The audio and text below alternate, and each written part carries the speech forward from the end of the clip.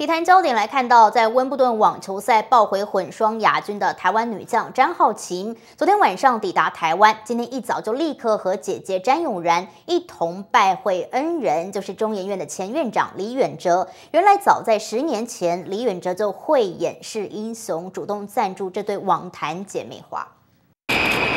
台湾网坛好手詹浩晴返台的第一个行程，就是与姐姐詹永兰带着温网混双的奖杯来拜会中研院前院长李远泽。原来早在十年前，李远泽就主动赞助这对网坛姐妹花，以前还常常一起打球。那时候永兰已经比较大了，对老头子还比较客气。呃，他是出生的牛不怕虎，所以他就常常穿创意球，打得很快。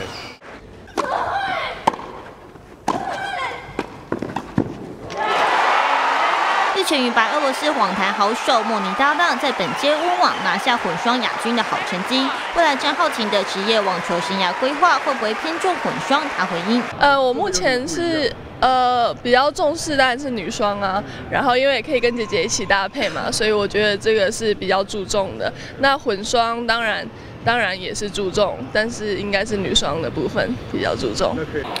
姐妹俩都是台湾网坛好手，一同入选今年亚运再度合拍，希望能为中华队打出好成绩。新唐亚视电视高建仁台湾台北采访报道。